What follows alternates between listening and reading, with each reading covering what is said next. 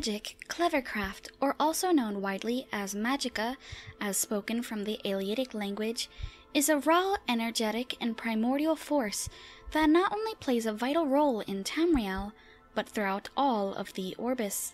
This raw energy is typically harvested and concentrated by the hands of mortals, Aedra, Daedra, and many other creatures across Tamriel as well as all of Nirn are capable of wielding its powers. Those who primarily work with magic are known simply as mages, whereas wizards and sorcerers are much more in tune with magic potential and have likely studied it throughout most of their lives. There are also battle mages who work with magic but can also find use with most melee weapons as well. All races on Tamriel are known to be able to learn magic to some extent. Some races are much more proficient at others, however, such as elves and Bretons who hold elven ancestry. Magic is understood to be governed by one's willpower and intelligence. Magicka, as it is understood, flows from the rifts in the Void of Oblivion created by Magnus, the god of magic, and the Magna Ge.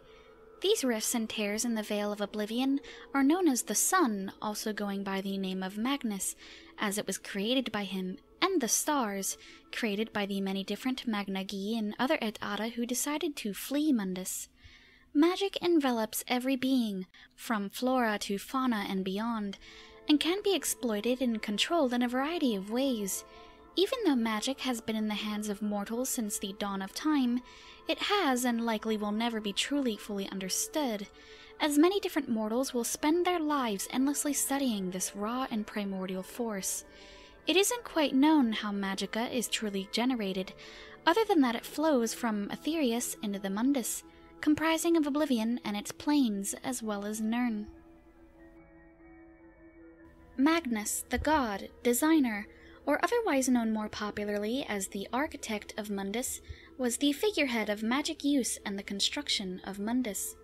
After Mundus was created, however, Magnus, for mostly unknown reasons, terminated the project, and this is when he and his followers, known as the Magna Ge, decided to flee Mundus, and in doing so tore rifts and fissures into the Veil of Oblivion, fleeing to Aetherius. The sun, also going by the name of Magnus, is the largest hole in which magicka flows through, along with the stars being the holes torn by his subordinates, the Et Ada and Magna Ge.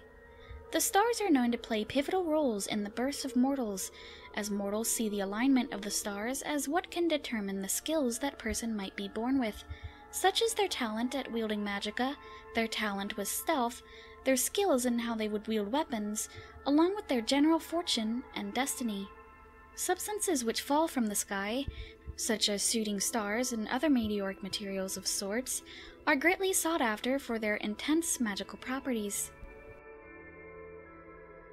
Magnus is known as Magrus to the Khajiit, and holds the same title and sphere that other Tamrielic nations hold him for, as the god of magic. In Khajiiti folklore, Magrus is one of the many sons of Ahnurr and Fadomai, and Magrus tends to be quite popular among Khajiiti mages. Magnus's staff, simply called the Staff of Magnus, is a well sought out for artifact by mages that is arguably his most well known and powerful artifact, said to be wielded by him himself during the creation of Mundus. It is told that this artifact of his is the only object known to be able to even contain his near infinite power. After an indefinite amount of time passes, this staff will pass on from mage to mage, likely to refrain from corrupting a mage with power when they wield it for too long. Another mysterious artifact, known as the Eye of Magnus, is thought to be an immense relic of Magnus, although it is not known if it is in fact Magnus's eye in the literal sense. This strange and colossal orb radiates pure magicka. This artifact is believed to have been one of the key elements that played an important role in the sacking of Saarthal in some of the earliest recorded historical documents of the Nords in Skyrim. This artifact was collected by the College of Winterhold in the Fourth Era 201, but was eventually secured by the Psijic Order, claiming that the world was not ready for such an artifact. Unfortunately, little is known about this artifact, but it is known that it reacts in a peculiar way when the Staff of Magnus is used upon it. Julianos, while considered the divine of wisdom and logic, is also considered by many as a god of magic as well, similarly to Magnus. Worshippers of Julianos are usually followers and practitioners of legislation, academics, literature, history, mathematics, and debates. Many Imperial and Breton wizards and magic users alike typically worship Julianos for his more magical oriented sphere, as opposed to the more scholarly fields that other worshippers may follow Julianos for. Jhunal is the Nordic aspect of Julianos, but has fallen out of favor as the eras have pressed onwards. In the Iliac Bay region, many temples devoted to Julianos are simply and collectively known as the Schools of Julianos.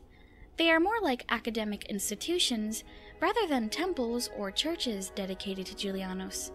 Many who study here believe that the term magicka was meant to construe the power associated with performing magic. Some of the earliest fully recorded practices using magic were with the Ayleids in the First Era. The Ayleids had compiled shards of Aetherius, and through these means they obtained immense magical and arcane power. They utilized these magics to enslave many of the human tribes who dotted the province of Cyrodiil, one common phrase in Ayleidic is Av Molag Anyammis Av Latta Magicka, which translates to from fire, life, from light, magic. With a few omissions, sorcerers, wizards, and magic users typically worked in isolation. This was mostly until the construction of the Arcane University in the Second Era, as well as with the Crystal Tower in the Somerset Isles, and was considered the apex of arcane knowledge and research. Numerous magical techniques and breakthroughs of magic have been developed throughout the eras, these scoped from use in battle, technological advancement, religious study, and many different advancements in medicine. Other unique types of wielded magica have been developed by mortals as well, such as the Shehai Shen Shiru, the Thu'um, the wild beast form, sea serpent taming magic, and the diverse and complex machinations such as automatons, there is an incredible amount of very little understood magical anomalies, such as the mysterious towers and their construction, as well as the process of CHIM, otherwise known as reaching heaven by violence. Mortals' pool of magicka that they are able to wield is determined by many things, such as their race, practice, research, as well as many unknown influences of what determines their skill in magicka though no one has the near infinite reserves of Magnus himself. The potential wielded by that of the Aedra and Daedra are typically referred to as magic, depending on the context. It is believed that deities receive their power and strength in the form of wieldable magic from their worshippers. It is believed that deities with a large amount of worshippers are typically referred to be more powerful because of this, the energy is rendered to magic that they can wield and use to the advantage or disadvantage of all. A number of powerful mages and wizards hail from the Altmer of the Somerset Isles, as well as the Bretons of High Rock, Nibenese battle mages, Telvanni magisters, and even the Sload. Most of the leading bodies of government in the Somerset Isles were often advised by the members of the Psijic Order, the Psijic Order studies mysticism and the more ancient and primordial magical studies. However, in more recent history, the Psijic Order is now considered a rogue and much more secretive organization, especially by the Thalmor as of the Fourth Era. However, in the early Second Era, they heavily influenced the political and cultural panorama of Altmeri life in the Somerset Isles, and a former ex-Psijic member, Vanus Galerion, had eventually founded what is today known as the Mages Guild. The Mages Guild had become a popular association for many who wished to learn how to more efficiently and properly wield magic, as the guild had allowed the possession of enchanted items, potions, scrolls, and spells to be bought and sold to any who wished to learn. The easy wielding of magic, and especially powerful magic, was no longer exclusive to upper class or scholarly mages. Along with the Psijic Order and the Mages Guild, there are countless organizations who devote their philosophy around the teaching and cultivation of magic, such as the Crystal Tower, House Telvanni, the College of Winterhold, the College of Sapiarchs, the College of Whispers, Shad Astula, the Synod, the Greybeards, and the School of Julianos. Before the events of the Three Banners War, the courses of study that the Mages Guild had implemented was cluttered and dangerous. A Breton woman named Gabrielle Benele had observed that the Shad Astula Academy had neatly organized and sectioned their magic teaching, notably into eight different schools of magic. She observed that this organization had the mages learning their curriculum in half the time. She had brought this to the Mages Guild as an example to follow, and with it, the guild adopted this new curriculum and has greatly enhanced their way of learning. Despite the Mages Guild and magic in general being quite favorable among many who wish to learn more, magic has not always had a good reputation, and for good reason. Many magical studies throughout history have resulted in catastrophic failure, and the Oblivion Crisis is considered to be when magic falls into the wrong hands. Along with the Psijic Order now being considered a rogue organization by the Thalmor of the Aldmeri Dominion of modern times, and these two groups have had conflicts scattered throughout history as well. Many modern day Red Guards consider magic for the weak and wicked and many Nords after the First Era have favored more with using weapons rather than magic. Necromancy, however, is shared in its detest amongst most of Tamriel. Many frown upon the summoning of Daedra after the Oblivion Crisis. Shadow magic, a more obscure and secret form of magic, is generally feared and shunned upon because of its immense capabilities. To cast a spell, one must consume the reserves of magicka, Casting a spell is considered an incredibly personal and intimate act, as no two people cast a spell in exactly the same way. It can be compared to being an artist. Each mage casts a spell in a different pattern than the next.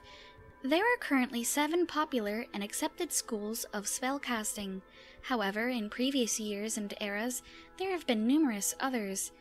Each school of magic has its own particular style of what kind of feats they are capable of doing. The schools of magic known that were once widely taught or currently are are destruction, restoration, conjuration, alteration, illusion, mysticism, and thaumaturgy. Enchanting and alchemy are also taught hand in hand with spellcasting. However, they are not considered schools of magic, as they do not include the art of spellcasting in them.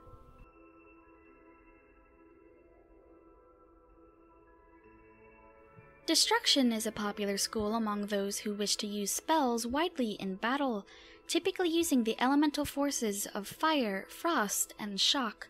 However, this is not limited to those three elements, and destruction spells include spells that drain and damage attributes, skills, health, magic, fatigue, making the target weak against specific elements, poisons, or magic, along with corroding the target's armor and or weapons. Because of this multitude of means of imposing damage on an enemy, these spells are quite commonly available to those who study magic. There was once a mage who specialized in illusion named Berivar Barrow, who preached on the streets of the imperial city that the School of Destruction should not be considered its own school, and that it should actually be merged into the School of Alteration. Unfortunately, his peers and general audiences did not agree with his reasoning, Eventually, a battle mage named Malvisor had shut down Berivar's ideology.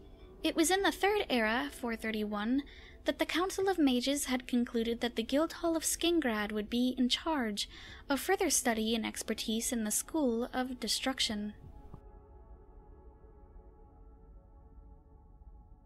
The School of Restoration primarily focuses on the healing and rehabilitating aspects of magic, such as restoring health, stamina, and magicka, granting resistance to the elements, poison, magic, paralysis, weapons, and curing diseases.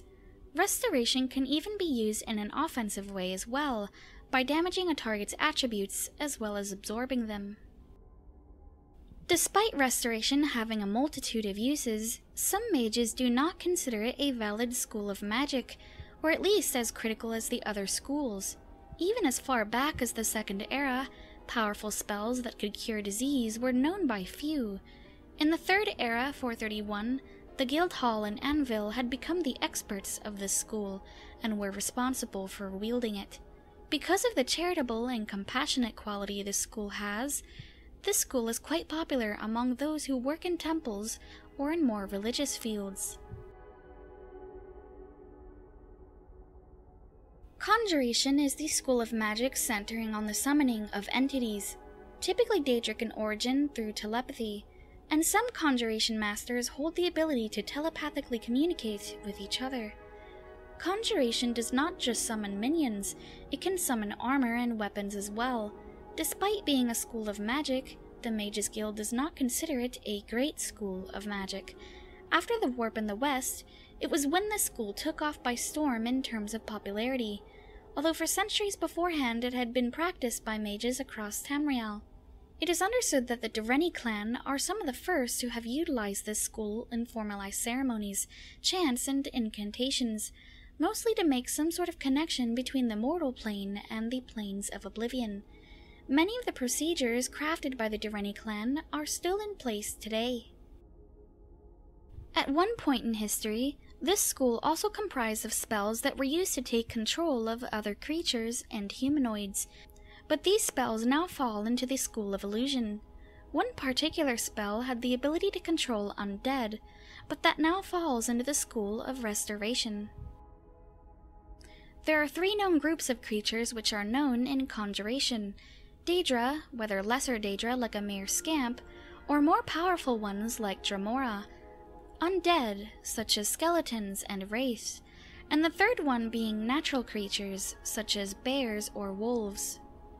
Weapons and armor that are conjured are typically Daedric in design, but do not hold the same strength and durability as normal Daedric armor or weapons would. Many can confuse this school with the arts of necromancy, as some necromantic rituals, particularly involving reanimation of the dead, often overlay with conjuration magic. It was in the Third Era, 431, that specialization in this school of magic had become the responsibility for the guild hall located in Chorrol.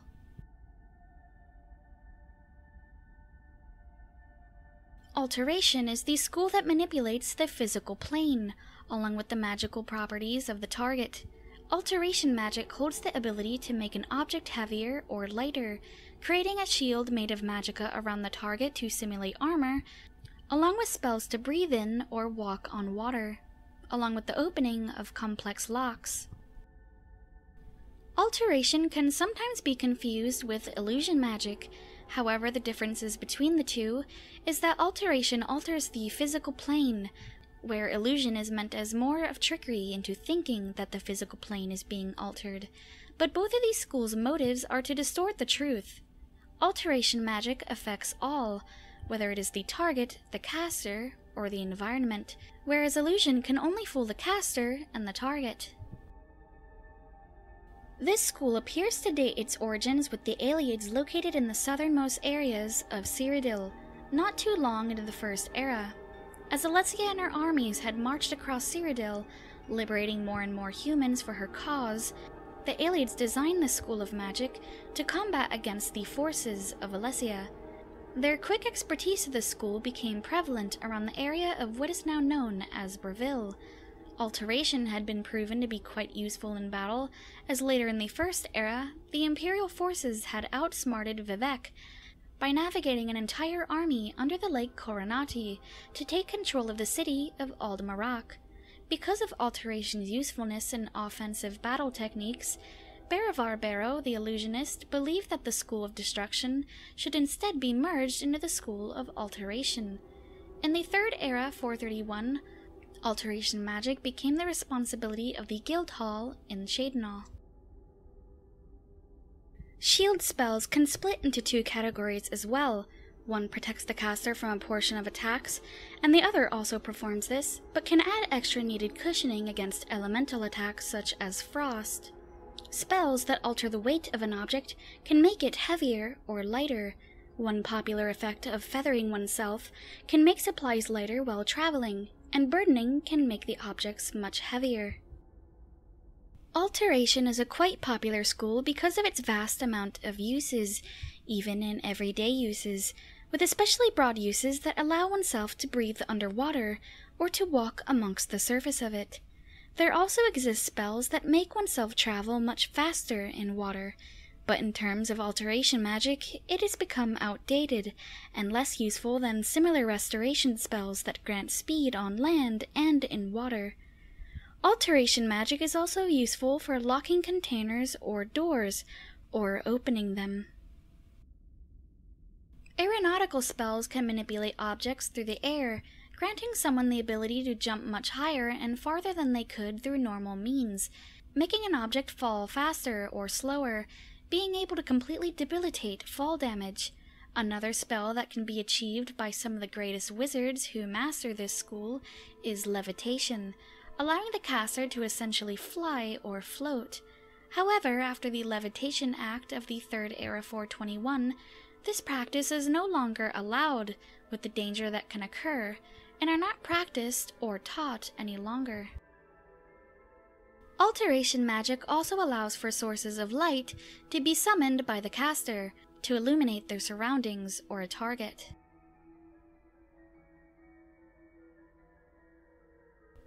Illusion magic affects the mind and senses of the target.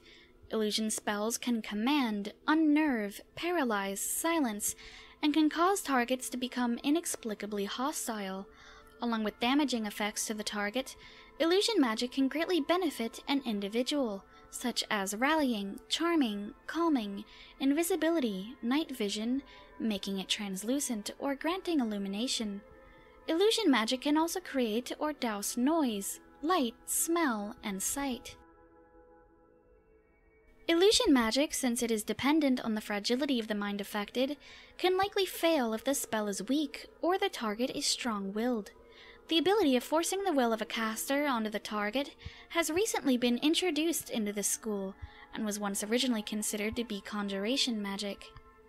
Illusion magic, if used skillfully and strategically, can greatly affect the events to come, one of the most infamous uses of illusion magic was when Jagar Tharn utilized powerful illusion spells to banish Uriel Septim VII to oblivion, assume his image, and allowing him complete control over the Empire for an entire decade. In the Third Era 431, this school of magic was held responsible for further studying by the Guildhall located in Bravil. Spells that affect visibility come in two fashions invisibility, and chameleon. Invisibility, while useful, is only useful until the caster interacts with something, or performs any action other than movement with their feet. Chameleon, however, can blend the target with the surroundings in different levels as chosen by the caster, whether partially transparent or fully transparent. Although unlike invisibility, chameleon isn't affected by interaction. High level chameleon spells are typically quite consuming of power, so invisibility is preferred if the caster simply does not want to be seen in regular movement. Spells that affect light can produce or douse light in a given area. Dousing light typically means something such as dimming lights currently functioning. However, magic that can create perfect and pure darkness or shadow has yet to be discovered or produced by modern mages. Noise spells, similarly to visibility spells, also come in two fashions. One muffles or prevents noises, while the other creates or alters current noise. Muffling and preventing noise, while altering physical noise, can also, in a sense, silence magic, meaning these spells are quite useful against those who prefer magic in offense, as it prevents them from utilizing any of their spells. The spells that create or alter noise causes targets to sense that they hear something, ranging from soft whispering to incredibly loud dissonance. This noise can greatly distract or even inflict pain on those affected. Despite the usefulness of the latter spell type, it has fallen out of favor with most modern mages. Another spell that has lost its favor with modern mages is spells that render a target blind whether granting them poor sight or complete and total blindness. Spells that paralyze are incredibly powerful and consuming, and can make it so the target is completely petrified, forbidding movement for a period of time. Spells that grant vision in the dark can only be casted on the caster and are useful for remaining undetected or seeing one's surroundings in the dark. Another set of useful spells in the Illusion School are spells that affect a target's current mood or hostility, such as Frenzying and Calming. Frenzying makes a creature inexplicably hostile, making them attack anything on sight, even against those who they would never lash out on, ranging from simple arguing to murder, whereas Calming affects those who are already hostile, making them halt all attacks including against those who they would normally lash out on. Demoralizing and rallying can produce similar effects. Demoralizing makes it so a target who is currently hostile flee in terror from battle, whereas rallying can take those who are currently fleeing from battle immediately join in on the battle despite their fear. Charm spells can make a target no longer hostile, fleeing, or feel any hostility at all towards the caster. This allows the caster to convince others things they normally wouldn't be able to through normal means, barter with them, or even rob the target without them lifting a finger in retaliation. There also exist spells that cast a trail for the caster to follow to find their ultimate goal, such as clairvoyance.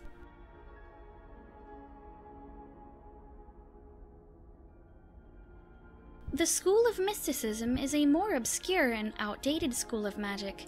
Mysticism is arguably the least understood of the schools, because of the amount of possibilities it holds, and many of the spells often cross over into other schools because of this. Mysticism is understood to alter the nature of magic itself, and the manipulation of magical forces and boundaries to bypass structures and limitations of the physical world. Many mysticism spells can trap a target's soul, magic that now exists in the Conjuration School, so can often be mistaken for necromancy. Many spells in the Mysticism School are able to detect life, reflect attacks, absorb spells or magic, dispelling oneself of magic, and trapping souls. Telekinesis was also once part of this school, but now belongs to Alteration. This school has been through much debate among mages and scholars throughout history. Mysticism holds its origins with the Psijic Order, and call their study of this school the Old Way, suggesting mysticism is actually quite ancient in origin. Mysticism is told to deal with conundrums and paradoxes, abandoning science and all sense, to embrace a temporary sort of insanity. Mysticism is likely able to harm those learning it because of its mental and traumatic effects on the mage's mind. That is, if they are learning it without proper preparation or teachers. During the Second Era, this school of magic was also quite popular with the Reachman shamans who lived in the Reach of Skyrim. In the Third Era, the leader of the Mages Guild, Hannibal Traven, was the figurehead into the act of banning necromancy from the Mages Guild. In retaliation, those who favored necromancy in their practices used the excuse of mysticism being their practice as to protect their arts. Mysticism spells can be split into five forms transport, detection, absorption, reflection, and the other class, only known as Other, because of the vast amount of spells in this category, and they manipulate directly upon the forces of the unseen world. Since the falling out of this school, absorption magic is often clumped with the School of Restoration. Spells that transport items or individuals are typically used in locations that do not have proper travel methods, such as poorly developed roads or difficult terrain. These spells allow a user to seemingly teleport to a place they've been prior, or to teleport to a location with flowing magic, such as a way shrine or portal of sorts. Spells that detect surroundings are plentiful as well, such as locating living, breathing life forms, as well as undead, hostiles, or even plain objects. Spells that utilize absorption allow the caster to absorb energy input into output, meaning incoming hostile spells can be absorbed by the caster to utilize as their own, or transfer to their magic reserves. Absorption spells include a variety of effects, such as attributes, skills, health, magicka, or other aspects of the target's image. Reflection spells work in the opposite fashion of absorption spells, meaning any incoming hostile spells are reflected back at the target, either in full or in part, similarly the way a shield would. Spells that dispel are able to remove any active or ill effects placed on the caster. If the caster is burdened, silenced, and a variety of other inconvenient magical effects can be removed by dispelling them. Telekinesis allows the caster to move objects or individuals without physically touching said target.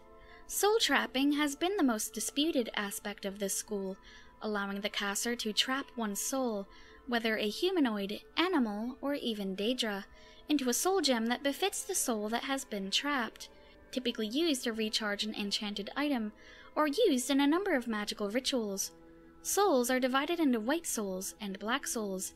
Animals or lesser creatures typically hold white souls and can be placed in petty, lesser, common, greater, and grand soul gems, whereas black soul gems are mostly used exclusively for black souls, meaning souls from mortals such as man, mer, and beastfolk alike, but can also hold white souls as well if it is the only option.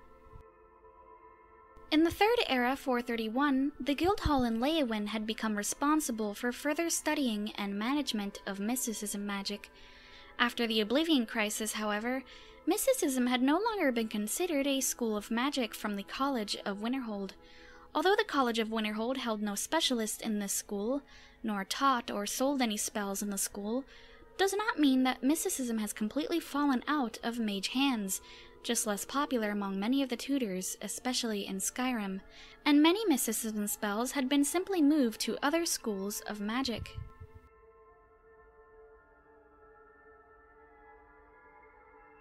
The School of Thaumaturgy was once a powerful and major school of study at one point in time. Thaumaturgy was quite similar to the modern day School of Alteration, but doesn't manipulate the physical appearance of what it is managing, but does change the laws of said environment of objects temporarily.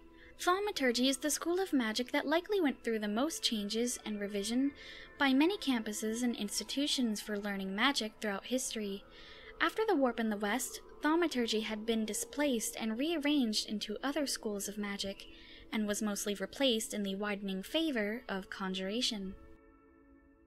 Thaumaturgy included a wide variety of spells that are now moved to other schools, such as levitation, etherealness, detection, pacification, water manipulation, teleportation, conjuration, and simple manipulation of magic. Conjuration spells are powerful in the sense that they can summon from other planes, whereas thaumaturgy conjuring spells can only conjure from what is close to the caster. In the Battle Spire, much of the enchanted items that held magic upon them were typically doused in thaumaturgy. Thaumaturgy is no longer considered a school of magic, however, many spells live on in other schools, while other thaumaturgy spells have completely been forgotten to time and replaced with newer and better spells.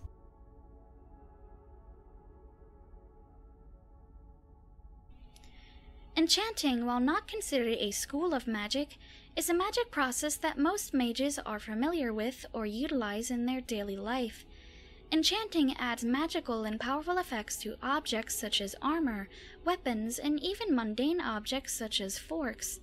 Enchanting cannot be done without use of a soul gem, and the power of the object is determined by the size of the soul being applied to it, along with the skill of the mage creating the enchanted object.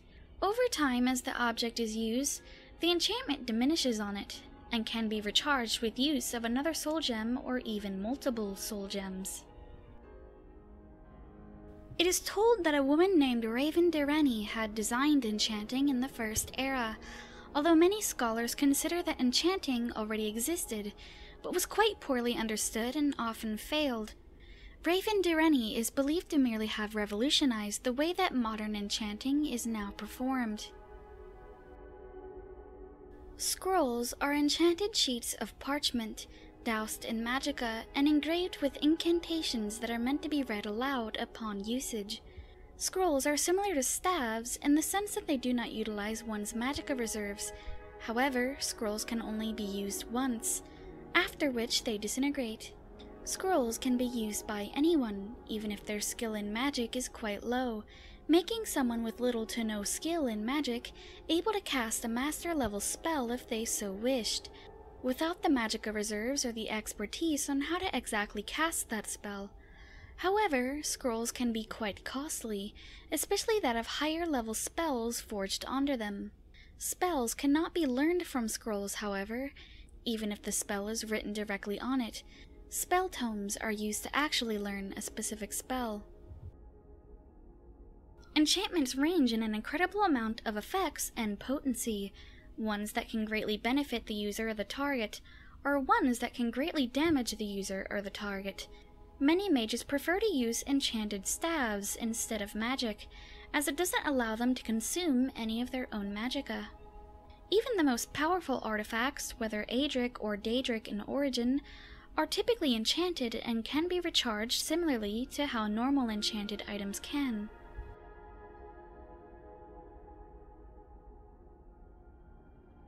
Alchemy, while not a school of magic, is often used hand in hand with mages, similarly to how enchanting is. Alchemy involves the art of making alchemical concoctions in the form of a consumable liquid, typically. It involves boiling, distilling, and extracting natural substances to obtain their properties, such as vampire dust turning one invisible, or food items restoring stamina and health. The kinds of liquids that can be made are usually potions and poisons, potions granting positive effects, and poisons granting negative effects. Poisons can be drunk, but typically are applied to weapons such as arrows to pierce the target, allowing the poison to drift through the bloodstream, quickly afflicting the target. All chemical ingredients include a variety of organic materials such as plant, animal, undead, and even daedra. Some ingredients are incredibly rare or difficult to get, making them incredibly valued by alchemists and potion makers alike. Many alchemists, if unsure what an ingredient's effect may yield, sometimes consume a bit of the ingredient themselves to discover what effects and properties it holds. This practice of eating ingredients is known as wortcraft. Many buildings are equipped with an alchemy station, where one can utilize a table of sorts with all the supplies they need whereas mobile tools such as a mortar and pestle, an alembic, a calcinator, and retort can be carried on individuals to make potions while in transit. In the Iliac Bay region, alchemy stations were mostly used exclusively in temples, and even the Dark Brotherhood to make powerful and deadly poisons. Cyrodiil and Morrowind notably were more keen to carrying the individual required alchemical components on oneself for easy access. The mortar and pestle are used to grind and mash the needed ingredients into a kind of paste, and to mix all the ingredients together. The retort is the vessel that is then used to distill, transform, purify, and boil the ingredients after mashed into a fine paste, often mixed with water or other liquids to enhance its drinkability. The calcinator operates as a sort of stove, and while an optional step in the potion making process, it can be used to even further enhance and augment the effects of the potion being made. It is able to refine the materials into ash and divide the important organic parts from the rest of the concoction. The alembic works similarly to a calcinator, but is used to decrease the negative effects a potion may impose. The alembic can divide the arcane from the non-arcane, infuse them, and heat it into a vapor. The vapor condenses into other containers and can be used to distill and drip down into the final concoction. Alchemy is believed to have been refined into a modern science by Asliel Direnni. Among other magical abilities, many are able to produce spell-like effects without expending magicka simply known as powers. Powers cost nothing to cast, and rather than being learned by tomes, these are effects that can be inborn to the individual, such as a Bosmer's ability to calm animals much easier than other races may be able to, and Argonian's ability to communicate with the Hist, or even powers gifted magically from a Daedric prince, as with the Nightingales. And these kinds of powers, while not using magicka, can typically only be casted once a day, some armor and artifacts can equip people who bear it with powers, such as enchanted effects that can never drain as normal enchantments would, while spells must be learned in some way, shape, or form. Powers can be inborn and come natural to its user.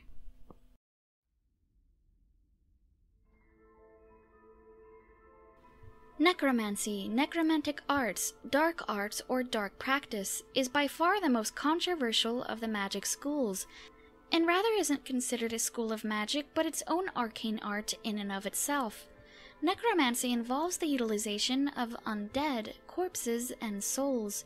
Dragons know this art as Alok Dalan. Many cultures on Tamriel despise necromancy because of the typical dark and immoral practices it can impose on individuals, along with many necromancers becoming absorbed by their power, such as Mannimarco. Many cultures dictate differently on what can be considered necromancy. Some cultures regard the reanimation of bodies to be necromancy, while others consider even soul trapping an offense in the name necromancy. In the most extensive view of what necromancy is, it can be considered any magic that involves use of a soul. Some consider it a branch of conjuration, while others consider it something completely on its own. Most cultures highly despise and forbid the practice of necromancy, and can be punishable by death or exile in most nations. Most necromancers practice their arts in secret because of this.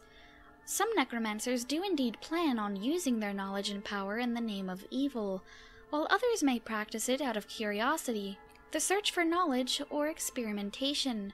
Many groups throughout history have used necromancy in warfare. Much knowledge on necromancy is achieved through Daedric interference, mostly with the Daedric prince Molag Bal, and vampirism is often understood to be its own form of necromancy. The Sload of Thras are told to be quite skilled in the art of necromancy out of all the races in Tamriel, and often use their knowledge and infinite power with necromancy to their advantage.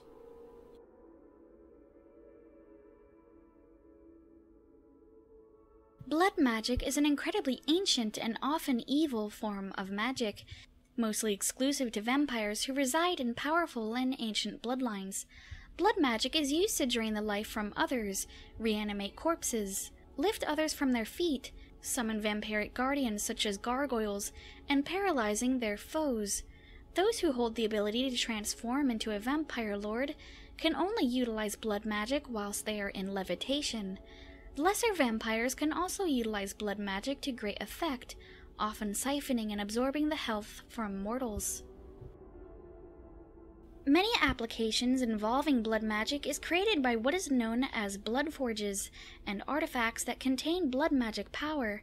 A clan of vampiric orcs known as the Morkel clan were once in possession of an artifact known as the Hand of Morkel, a tool with the destructive power of merging living hostages into a weapon or armor. This clan worshipped Mephala and were capable of making stone servants and gargoyles to act as their protectors, utilizing powerful blood magic. A spring of red water known as the Blood of Moloch, a font of pure blood magicka, was used by the Orcish citizens of Abimath as a kind of war paint, as they believed it granted them immense strength. Throughout history, there have been numerous blood forges and fonts of pure blood magic that many vampiric clans have used throughout centuries to receive powers from.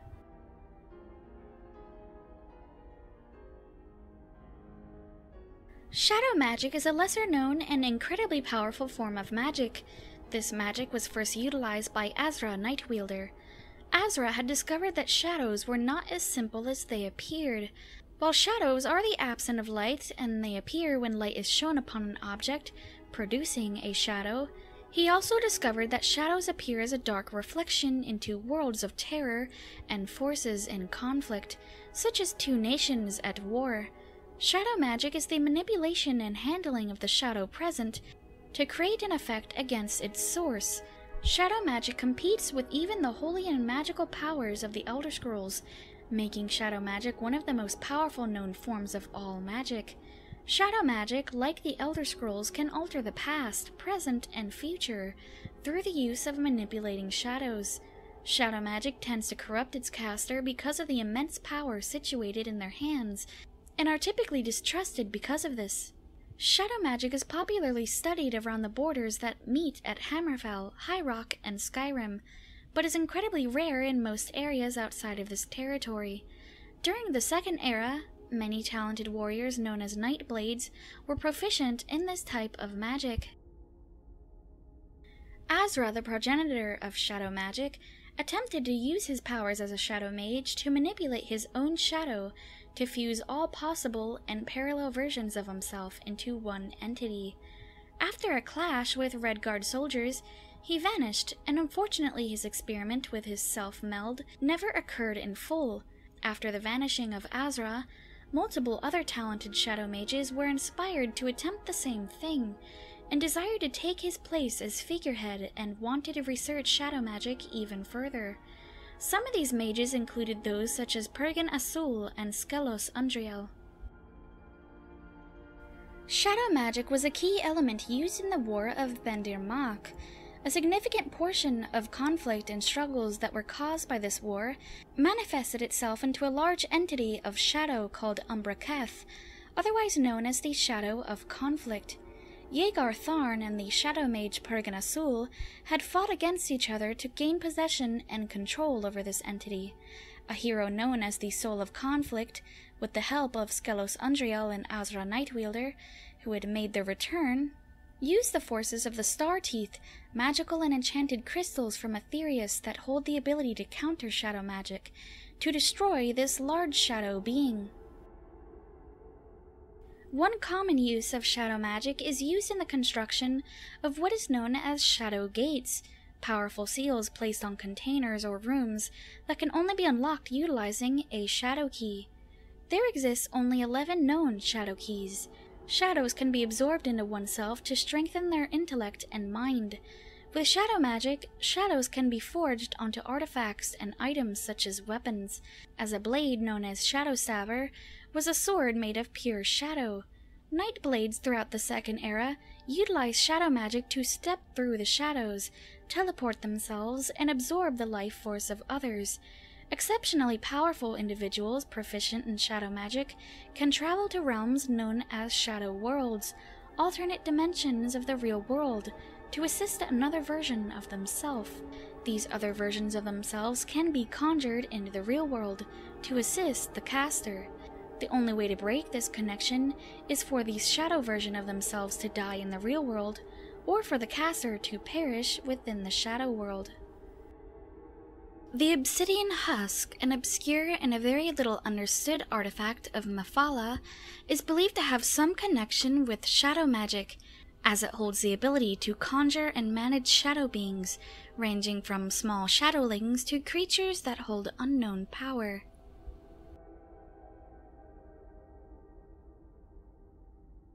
Flesh magic is an incredibly obscure and primordial kind of magic. Some believe this ancient form of magic is older than Nirn itself. Some practitioners of this magic refer to it as the sixth element, or rather flesh. According to tales and legends, flesh, along with the other five elements of earth, water, air, fire, and light, were constructed upon the moment darkness was taken by day, and the void had taken shape. Flesh magic is told to have been hidden by virtue of its own self awareness. Flesh magic is arguably one of the most secretive, unknown, and cryptic magics known. Flesh magic can be compared to necromancy. However, with necromancy, it deals with dead flesh and bodies, while flesh magic molds and creates off of existing living flesh, meat, blood, bone, and breath. These are considered the fundamental elements of true flesh. Each component serves a purpose in flesh magic, and serves an important role in life. Meat and muscle is told to hold the desire to consume everything around it. Blood is the essential fluid that holds the elixir of life.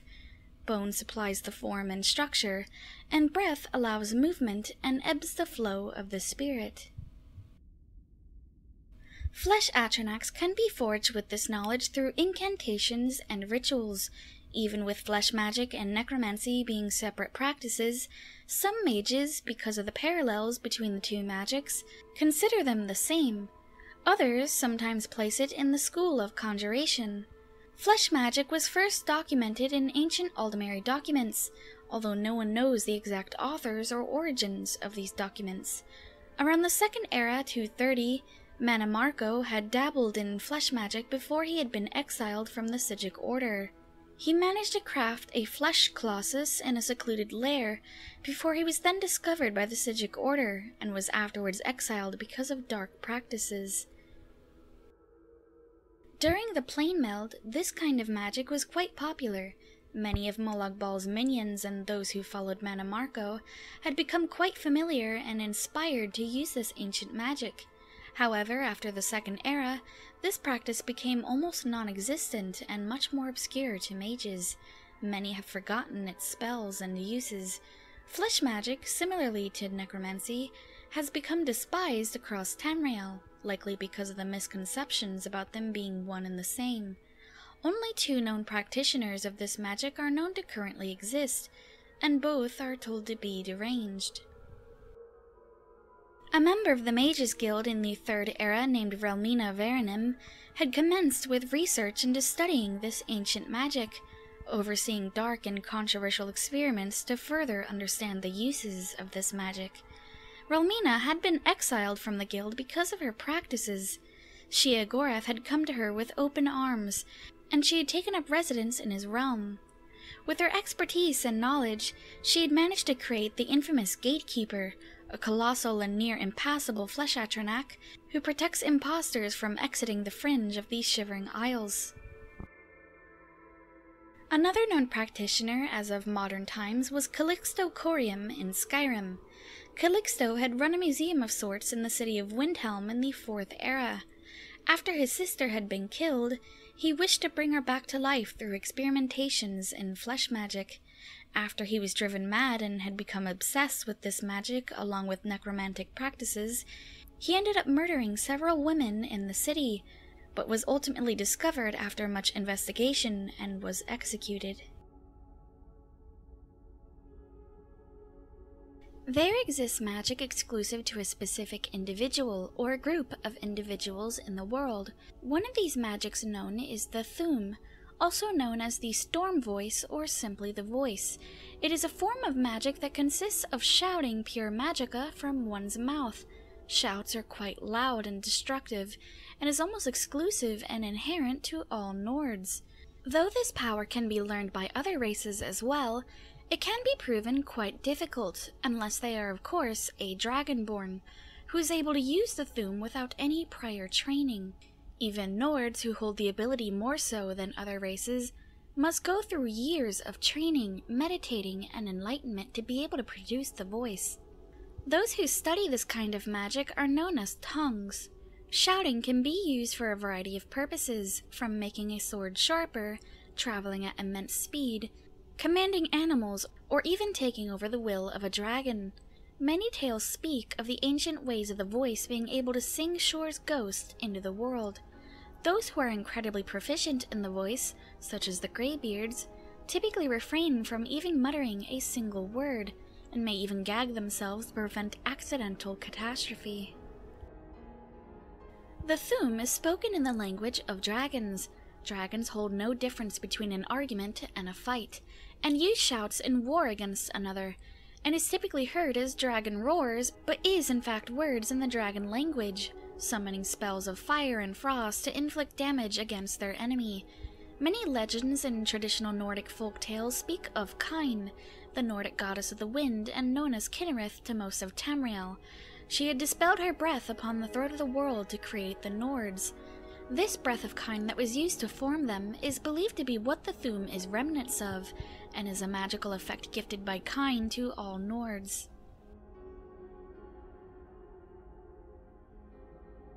The Shehai, or also known as a spirit sword, is an ethereal blade that was formed from the hands and soul of the warriors of the elite Yokudan Redguard sword singers called Ansei. This powerful magic was quite popular in ancient Yokudan and Redguard history.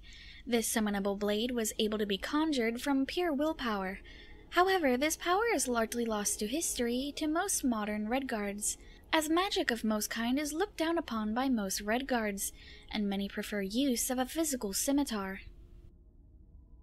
Being able to produce the Shehai was known as the Shehai Shensharu, translating to Way of the Spirit Sword. Learning how to summon this ethereal blade was achieved through rigorous training and scrupulous meditation. Though long ago, many tried to learn how to summon the Shehai, but not all could, let alone could they become an Ansei. Those who were able to become an Ansei and able to form the Shehai were incredibly gifted individuals, and some could go to great lengths to say that these fierce warriors were immortal. There were some individuals who were able to produce the blade from an incredibly young age without prior training, and held the potential to become even more fearsome as they grew older and quickly mastered this art. It is also told that a Shehai could be summoned during times of immense stress and fear. For one to become an Ansei in the highest echelons, they must first master the ability to be able to call upon their Shehai. Shehai were described as being a pale, ethereal, and mystical blade that seemed to be made of pure light. Despite it being a blade or sword of sorts, some individuals manifested their Shehai to be of other forms, some recognizably a weapon, and some more abstract. After mastery of the Shehai, these gifted warriors would find no use in using conventional and physical weapons. Ansei in first and second tiers could not only be able to summon the Shehai, but utilize it to the greatest extent in battle. These higher tiered warriors were told to have Shehais that were much more brighter in color and proved to be much more fatal in battle. It is told that in order to end a skilled warrior such as this, one can only hope to dismember their head, or control their mind with immensely powerful magic. The most talented of Ansei typically began their own training grounds to teach others of this art. Even though a Shehai proved far superior as opposed to a regular blade, it is told that the Shehai could be blown or shattered clean off of an Ansei, leaving its magical and ethereal essence as all that remains. Ansei, who were of the topmost ranks, typically traveled the sands and mountains, looking to end conflict among the people, help others, and engaging in immense warfare. For the uppermost ranks, a Shehai could be summoned with little to no effort, and was told to manifest as easily as breathing. In the mid Second Era, the warrior constellation was told to have materialized in mortal form. This warrior was told to have wielded the most powerful of all Shehai likely ever seen, as it was able to create seismic waves and magical storms.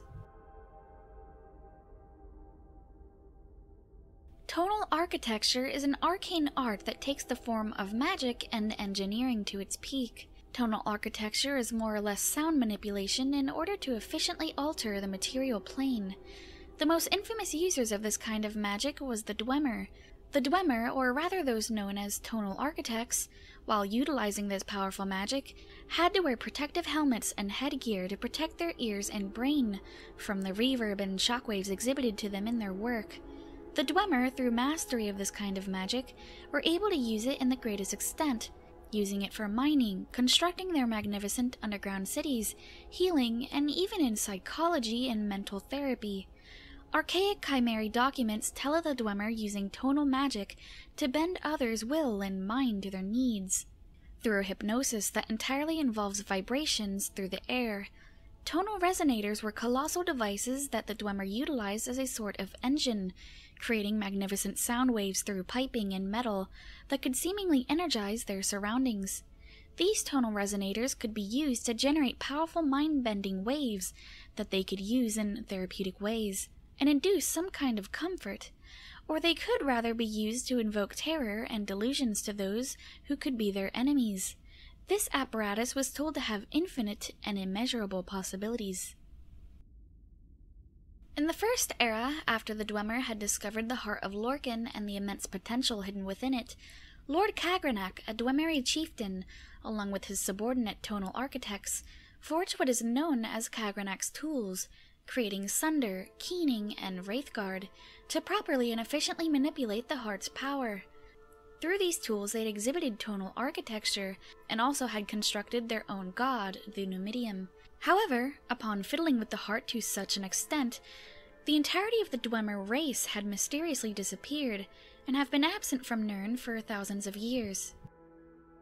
One dwarven resonator that was uncovered was in the kwama mines of Gnisis, within a Dwemeri ruin that lay beneath the city. The Kwama that resided inside these mines had been driven mad by the waves produced by the resonator, causing them to turn on their queen and the miners who were at work inside. The miners who had worked in there had also been driven slowly mad by the reverberations of the resonator, humming its monotonous and maddening tune, and they had become obsessed by its composition, preoccupied with mastering their ability to recreate its pitches and vibrations. Those affected by this noise spoke of their minds being able to see the melody in a physical nature, seeing it glimmer and dance in their minds. The Soulless One had embarked to disable and render the ancient resonator inoperative, freeing the miners' minds from its madness. Many rumors and theories were soon spread that this particular Dwarven resonator was in fact used to control the minds of any whose ears it so touches. Sotha Sil, a living god of the Dunmer, drew much of his inspiration from the machinations of the Dwemer, especially tonal magic, even before the Dwemer's disappearance, Sotha Sil desired to know more about their peculiar talent with their arcane machinery. Sotha Sil dedicated much of his time researching tonal architecture and how he could use it to empower his divine apparatus. He even further boiled the art down to yield even more potential, and in the process crafted Dwemeri tuning forks and divining rods. Sotha Sil also developed something known as the resonant sphere, one of his many ingenious wonders of the world. Upon contact with magic, this sphere produces sound that is near identical to the sounds heard within the brass fortress.